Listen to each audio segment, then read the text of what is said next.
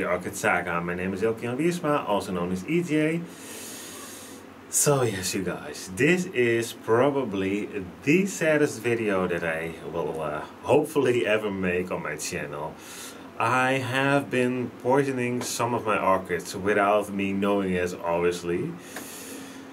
So yeah, okay, here's the video. It's not going to be pretty, but it is what it is. And I'm making these videos to share uh, whatever I learn about orchids, whatever I do. Uh, in most cases, I hope to encourage you to do some things that are uh, make your orchids look better, grow better, etc. But if something wrong happens, I'm also going to make a video about it, of course. So you'll be sort of warned and not to try this at home. So that's uh, this type of video. But some orchids are uh, probably not going to make it. We will have a look the, at them in a minute. First of all, I need to explain, of course. So I have, because I have so many orchids, I, uh, the chances to have bugs and pests is uh, fairly high, I think, or higher the more you get. And that's okay, you need to be on top of them. So yeah, if you have the bugs, what I would suggest is have a bit of alcohol ready in a spray bottle or something like that. That kills off, uh, in my case, the mealybugs, because I have the mealybugs the most. And it's very easy if you don't have really have the time uh, to constantly obviously spraying your orchids, which is also not very beneficial, but I think you know what I mean. So I have a little bottle and I can spray wherever I see a mealybug and at least that one is dead and that's how I uh, keep it under control. Sometimes you have an orchid that is uh, will have a little uh, bit of an outbreak, you just didn't see the, the pest yet and then you deal with it. Uh, and some orchids just keep on getting them and getting them. And I had a few of those, and those are my uh, Dendrobium uh, nobile types. And I recently did a beautiful video on them, how beautiful they are, were blooming, etc. I will link it in the end of this video. And but it just kept on coming back, and uh, we had a quite uh, a few beautiful days, sunny days outside. So I thought, you know what, I'm going to take my plants outside and I'm going to spray them thoroughly. So I'm going to, to reach every part of the plant wherever a mealybug can sit. I'm going to spray it. But I thought I want something that will be on the plants for a little bit longer. So you may know that I really like the recipe of Miss Orchid Girl with uh, that's RO water, paraffin oil and some liquid soap. Um, and I use that and that is a, a, a very perfect recipe and uh, you don't want to use it on the blooms and the buds but for the rest it's, uh, the, your art should be fine if you are uh, keeping uh, the structures uh, uh, or leveled and, and, and you should be fine. So I, I use that especially on new orchids. I also have a video about that and I will link it. Works great. So I thought if I start to use alcohol with a paraffin oil um, maybe that will be the, not the alcohol, it, it, evaporates of course, but at least we have some oil. And then I thought, well, basically that's the same. There's not much different. So I need something with a strong fragrance uh, to it um, to keep the pests away. A few years back, I now believe, uh, Roger uploaded a video on the, he calls it the hippie soap and it's basically a solution. I don't know the ingredients uh, anymore from top of my head but one of them is tea tree oil. And I used that. I used the same recipe and I can't remember that I did get uh, bad results. So I thought I still have the tea tree the tea tree soap. Let's uh, let's put it in the mixture so the tea tree will be as the oil a sort of uh, layer on top of the plant and protect it thereby for at least the next coming uh, week or weeks so all the individual uh, ingredients I used with uh, kind of good successes. The happy, happy, uh, the hippie soap didn't do much for me, so that's why I didn't use it anymore. But the ingredients I didn't have bad results. So what I did was I had some RO water, some alcohol. I put in some paraffin oil, and instead of the liquid soap, the more organic liquid soap that I normally use for your dishwashing. Uh, I skipped that one and I used the tea tree oil. And something did go very bad. I think, I'm not 100% sure, but I think the tea tree oil is uh, toxic for the plants. As long as it doesn't get inside of the plant, it's kind of okay. But because my plants had mealybugs, they did bite into the plants and thereby left wounds, open wounds. So the tea tree oil had all the chance to get into the plants and into the leaves and did its thing. It's absolutely horrible and it took me a few days to even uh, start filming this because I feel so responsible for my plants and these plants are kind of common here so I can easily kind of easily uh, replace them if I want but that is not where why I have these plants I love it when they are for years in my collection they get bigger and bigger and bigger and, and yes, you just find a way to grow them which suits you and suits your plants etc and then you make a mistake a honest mistake I think but um, at least I wanted to film this just to let you know, maybe don't use tea tree oil. I'm not going to use it anymore on my plants. Maybe on the shelf, because it really works against the bugs and keeping them away. But never ever directly on my plants again. And uh, here is why. Okay, let's start in this corner. I'm going to save the, the, the bad, the very bad for the last. This is not looking pretty as well. These are my catasetum types. I must say, these did have spider mites. Catasetums are known for uh, getting spider mites on them. Last year I was very lucky, I didn't have any, and this year, as you can see about the wounds, I had a heck a load of spider mites on them, and I didn't notice, I just didn't see them. And then I did use the spray solution, and the oil gets into the, the wounds and there is a bit of a yellowing leaf over there but the rest seems to stay on the plants. Eventually these will fall off and they will start making new growths next year and these plants should be fine. But it just looks bad now. And as you can see I just they are, are uh, quite a nice size. They are really getting bigger the plants themselves. So yeah I was really looking forward to have some nice green leaves and maybe some flower spikes with them. yeah, not gonna happen this year. So that's the catasetum Then go inside of my orchid room. I had sprayed a few over here as well. Sorry for the peeping noise, it always happens with this door. Look at this one. So yeah, this looks very, very bad as well. This one also had a spider mite and it took badly. So there probably were a lot of wounds in here, so a lot of tea tree oil could get in the plant. But yet still, the other leaves seem to do fine, and that's why, yeah, I'm not sure if this was already yellowing. It's an older leaf, I'm, I'm not completely sure. But anyhow, that's why I think it's the wounds, because this is the newest growth, and it looks the best, the baddest.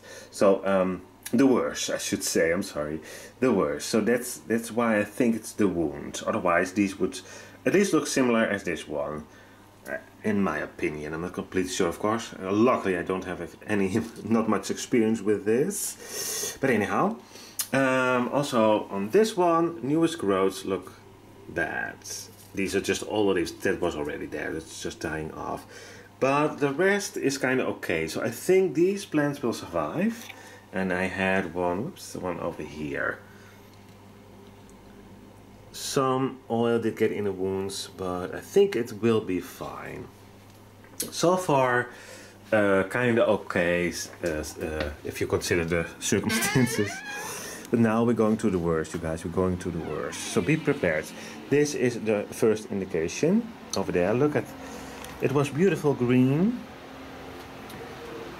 and now we are getting there look at this.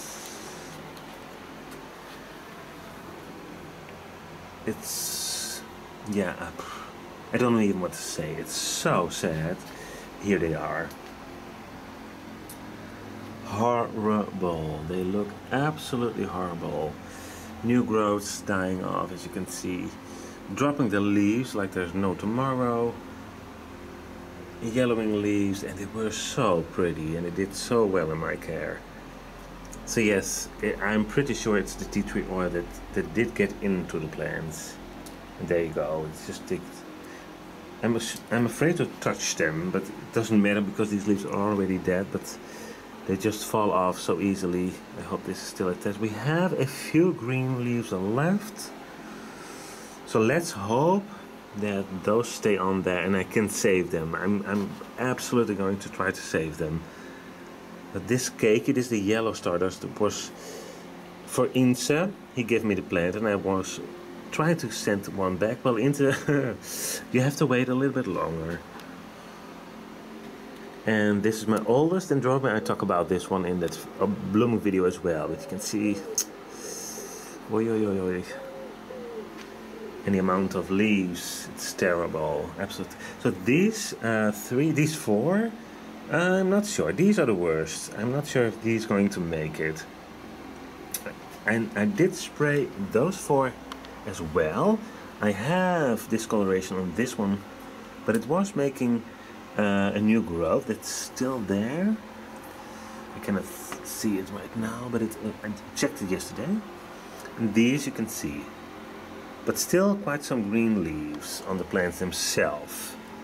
And these leaves are really nicely attached, still strong. Some fall off, but not that much. But they will stop growing, as you can see. It looks like crown rot, but it's from the oil and the delicate leaves so the the oil did penetrate into the leaves and it looks like crown rot but you can see over there there's as well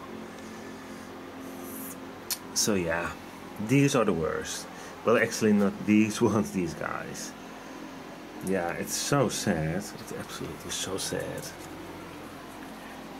It feels really oily of course but like leather almost. So yeah, I'm going to clean the floors pretty soon, but here there was some green on there left, but you can see the marks. I had no idea there were so many bite marks from uh, the mealy bugs on them.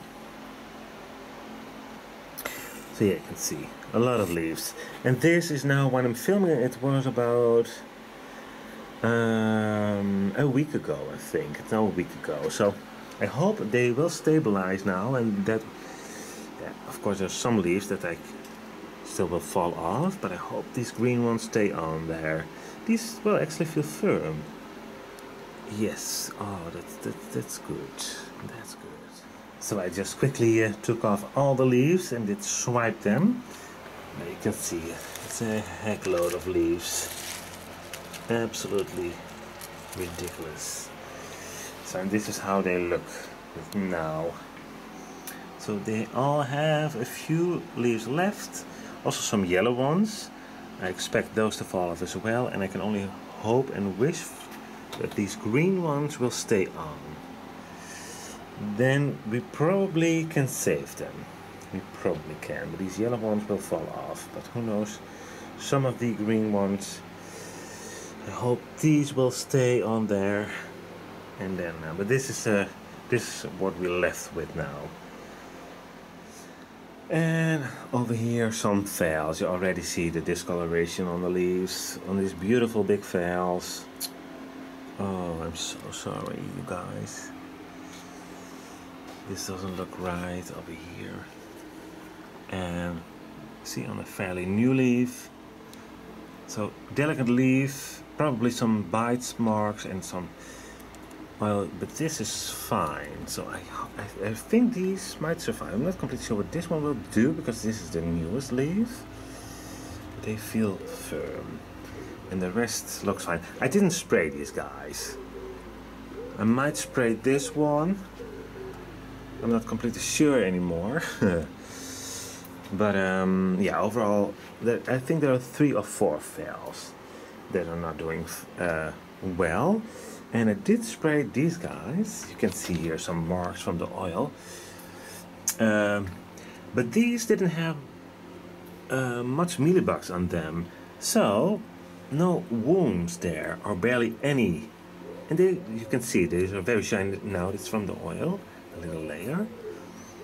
And those do perfect fine. This is just an older leaf and I believe this was already there. But the new leaves the more delicate leaves as you can see still there. Yeah, so I think it's, I'm pretty sure, it's pretty sure because of the bite marks. You can see the strange yellowing color there. Never had this happen. So yes, you guys, it's pretty bad. And like I said, it's now been a week ago or so.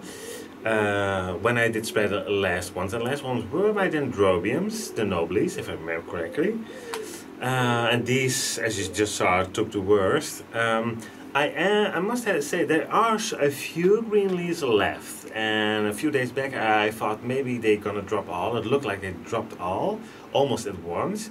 So I now can only hope that those last green leaves stay on there and that those leaves are enough to photosynthesize or give the, the plant the ability to and then hopefully make a new growth of something. I am definitely not going to buy a new plant uh, if, I, if I'm really going to lose them, even though they may look worse uh, for the next couple of are smallish for the next couple of years to go, it's my fault and my responsibility, and I will do everything I can to make them better. So they may not look as big, as, as flushy with blooms as they did uh, a few weeks back, a few months back. That's okay. This is this is my doing, and I feel responsible, and I need to fix it if I can. I wanted to make this video so to let you know uh, you may reconsider if you use tea tree oil or if you have products and you start uh, combining them. I know it's it's it's uh, sometimes it works but it also cannot work and it can be uh, quite uh, heavy on the plants and even to a degrade that they might that you might kill them you might poison them so be aware just uh, and of course use it uh, first on one or two plants you might think why didn't you do that you you grow orchids for more than 20 years but actually I sort of did I did it on my catasetum types and the first one or two days I didn't really see much uh, of, of that would concern me. I know if they have bites and you use the paraffin oil, it will leave marks as well, but that's it. It's probably or apparently not toxic for them. So I thought, okay, this is what I what I expect. This is what I get every time if I spray my plants with a paraffin oil solution, and they have pets, uh, pets, uh, pests. There we go. um, so it looks similar. So I thought after two days, okay, this is fine. This might going to work because I, I could smell the tea tree oil on the plant, and that was exactly what my plan was to keep the bugs away.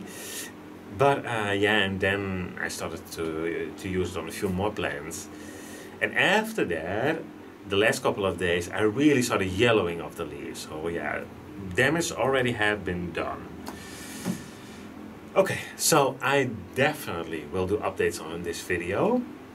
Uh, probably in a few months or so, or something will start. Maybe I could do an, a very quick update of some of my dendrobiums because they shoot out a few new growths. Who knows? Who knows? Wishful thinking. And uh, talking about wishful thinking, I like. I'm I'm a very possible, uh, positive uh, uh person. I like to uh, describe myself. This was a uh, a bitter pill to swallow for me. I must admit.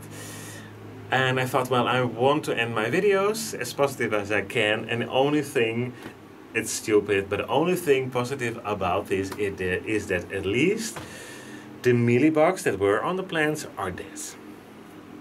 Okay, that is it. Thank you so much for watching and I really hope to see you at one of my next videos and I'm promising you guys I'm going to try to make the best videos out there. And probably this is one of the best because this is how we learn, I know, but this is uh, a little bit too heavy. We don't want to lose our plants. Anyhow, this is right happen happening right now in my greenhouse and orchid room, so I film it and I will give, give updates. Thank you so much for watching and I really hope to see you at one of my next videos. Bye bye!